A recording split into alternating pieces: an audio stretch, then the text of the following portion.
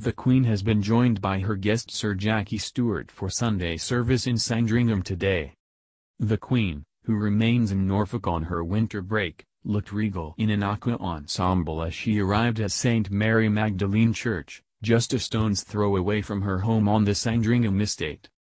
The 92-year-old monarch was once again spotted without a seatbelt despite the controversy surrounding the Duke of Edinburgh's crash last week where he had also gone without a belt. Following the incident the Queen faced criticism for making a similar journey without wearing one just 48 hours later. Despite remaining vigilant since having been spotted wearing a seatbelt while driving her Range Rover on Friday she went without as she was chauffeured to the service in a Bentley today.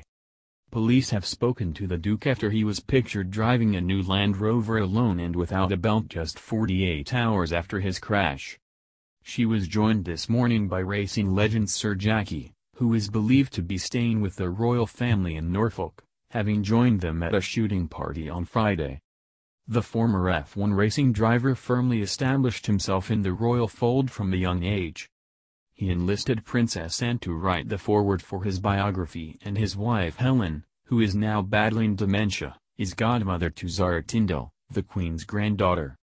The Princess Royal was also present today, arriving on foot alongside her husband Sir Timothy Laurence this morning. Anne wrapped up against the cold in a teal coat and red velvet hat as she arrived at church this morning.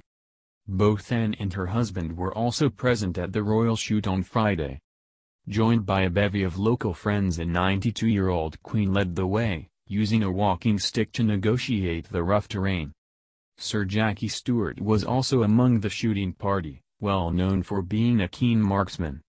The 79-year-old was a prize-winning member of the Scottish clay pigeon shooting team before he became a racing driver and competed in the UK and abroad. Her Majesty was also joined by several canine pals, sure to be a welcome addition for the monarch who lost the last of her beloved corgis last year. The Queen herself did not appear to get to grips with a gun but appeared instead to offer encouragement from the sidelines. Earlier in the day, she enjoyed lunch with the shooting party. She also took the role as royal chauffeur getting behind the wheel of her Range Rover to transport her guests, and new photos have since confirmed that she was wearing a seat belt. The Queen is now in the final weeks of her time in Norfolk, expected to return to Buckingham Palace in the first week of February. She will mark the 67th anniversary of her accession to the throne on February 6, normally done privately on her Norfolk estate. The longest reigning sovereign in British history became queen on February 6, 1952 on the death of her father King George VI.